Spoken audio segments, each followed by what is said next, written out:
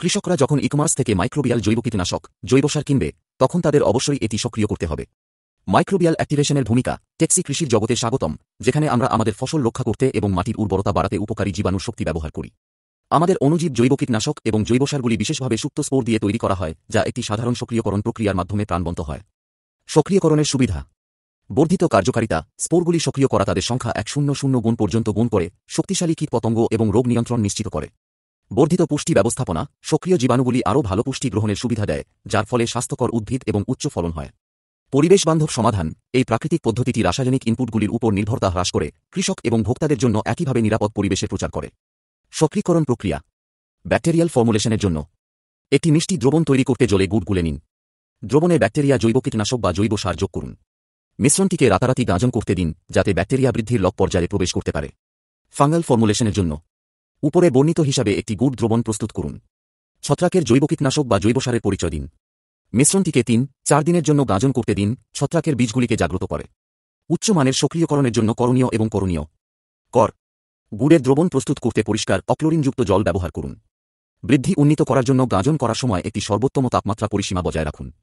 পুষ্টির সমান বন্টন নিশ্চিত করতে পর্যায়ক্রমে সমাধানটি নাড়ুন। করবেন না। ধাতব পাত্র ব্যবহার করবেন না, কারণ তারা মাইক্রোবিয়াল কার্যকলাপকে বাধা দিতে পারে। সরাসরি সূর্যালোক এড়িয়ে চলুন, যা সূক্ষ্ম স্পোরদের ক্ষতি করতে পারে।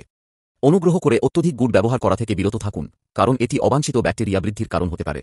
উপসংহার, এই সহজ পদক্ষেপগুলি অনুসরণ করে আপনি আমাদের জৈব কীটনাশক এবং জৈব সারের সম্পূর্ণ সম্ভাবনা উন্মোচন করতে পারেন। আসুন আরও শক্তিশালী, আরও স্থিতিস্থাপক ফসলের সাথে একটি সবুজ ভবিষ্যৎ চাষ করি। সক্রিয় মাইক্রোবিয়াল ইনপুটগুলি সংরক্ষণ করা তাদের কার্যকারিতা বজায় রাখার জন্য অত্যন্ত গুরুত্বপূর্ণ। আপনার সক্রিয় জৈব কীটনাশক এবং জৈব সারগুলি শক্তিশালী থাকা নিশ্চিত করার জন্য এখানে কিছু নির্দেশিকা রয়েছে। তাপমাত্রা নিয়ন্ত্রণ। সক্রিয় পণ্যগুলিকে সরাসরি সূর্যালোক থেকে দূরে একটি শীতল ছায়াযুক্ত জায়গায় সংরক্ষণ করুন। মাইক্রোবিয়াল বেঁচে থাকার জন্য উপযোগী একটি সামঞ্জস্যপূর্ণ তাপমাত্রা বজায় রাখুন, সাধারণত চার এবং এক শূন্য এর মধ্যে। বাজুরোধী পাত্রে।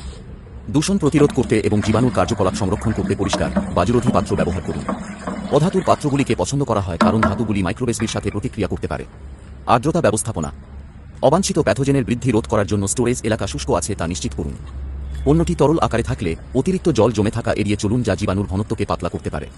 ব্যবহারের সময়রেখা। যত তাড়াতাড়ি সম্ভব সক্রিয় পণ্য ব্যবহার করুন। এগুলি যত বেশি সময় সংরক্ষণ করা হয়, তাদের কার্যকারিতা হারানোর সম্ভাবনা তত বেশি। আপনার যদি সেগুলি সঞ্চয় করতেই হয়, তবে সঞ্চয়ের সময়কালের উপর নজর রাখুন এবং প্রস্তুতকারকের দ্বারা প্রদত্ত প্রস্তাবিত সময়ের মধ্যে সেগুলি ব্যবহার করুন। দূষণ এড়িয়ে চলুন। অনুজীব জনসংখ্যার ক্ষতি করতে পারে, এমন দূষকগুলি থেকে স্টোরেজ এলাকা পরিষ্কার এবং মুক্ত রাখুন। নিশ্চিত করুন যে পণ্যগুলির সাথে ব্যবহৃত কোনো সরঞ্জাম বা সরঞ্জাম জীবাণুমুক্ত করা হয়েছে। এই স্টোরেজ নির্দেশিকাগুলি অনুসরণ করে আপনি আপনার মাইক্রোবায়াল জৈব কীটনাশক এবং জৈব সারের সুবিধাগুলি সর্বাধিক করতে পারেন। মনে রাখবেন, কার্যকর স্টোরেজের চাবিকাঠি হল এমন একটি পরিবেশ তৈরি করা যা উপকারী জীবাণুর জীবন ও কার্যকলাপকে সমর্থন করে। দূষণের জন্য পরিদর্শন করুন। অ্যাক্টিভেশন দ্রবণে দূষণের লক্ষণগুলি সন্ধান করুন, যেমন অবন্ধ বা অস্বাভাবিক রং।